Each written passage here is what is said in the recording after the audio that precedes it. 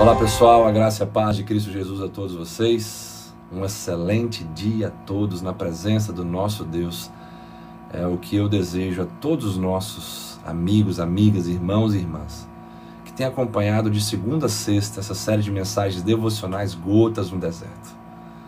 E que com tanto carinho têm nos apoiado, encorajado, orado por nós, curtido, comentado e compartilhado essas devocionais com seus contatos. Muito obrigado.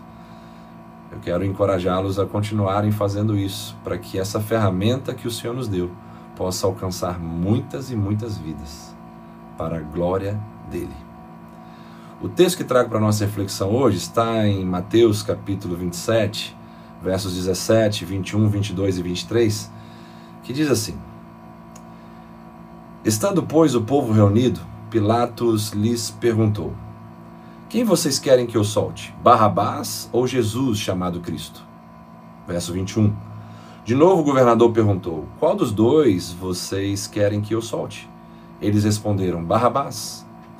Pilatos lhes perguntou: Que farei então com Jesus chamado Cristo? Todos responderam: Que seja crucificado.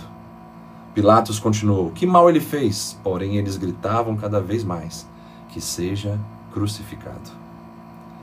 Esse texto nos mostra uma escolha desastrosa do povo judeu e uma consequência pior ainda, que foi a destruição de Jerusalém no ano 70 e a dispersão dos judeus por todo o mundo. Tudo isso por causa de uma escolha desastrosa que trouxe destruição para essa nação. Enquanto brasileiros, nós temos uma escolha muito importante a fazer no próximo dia 30 de outubro, outubro que é a escolha do presidente da República.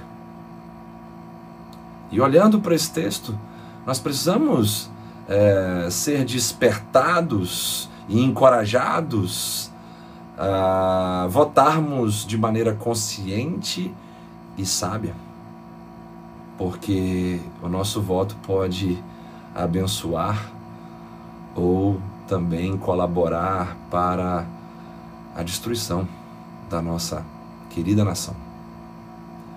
Quando vemos esse povo votando aqui, expressando a sua escolha, vemos que não houve nenhum tipo de reflexão, nenhum tipo de avaliação, porque estavam movidos por sentimentos destrutivos. Não queriam avaliar o que era melhor para eles. E quando Pilatos pergunta que mal ele fez, eles não quiseram nem saber de falar que mal Jesus tinha feito. E só gritavam cada vez mais que seja crucificado. Não queremos nem saber, nós queremos votar em Barrabás. Não importa se Barrabás é, nos roubou, nos prejudicou com as suas infrações, com seus delitos, não importa, nós queremos ter de novo em nosso meio uma pessoa que nos prejudicou, um ladrão julgado e condenado. Nós queremos de novo esse no nosso meio. Não queremos saber de Jesus. É importante que a gente aprenda com esse texto e nos posicionemos de maneira sábia perante algo tão importante que devemos fazer enquanto povo brasileiro, que é escolher o presidente da nossa nação. Que esse exemplo possa nos levar a avaliar e a pesar na balança da nossa consciência os dois lados que estão envolvidos nessas eleições.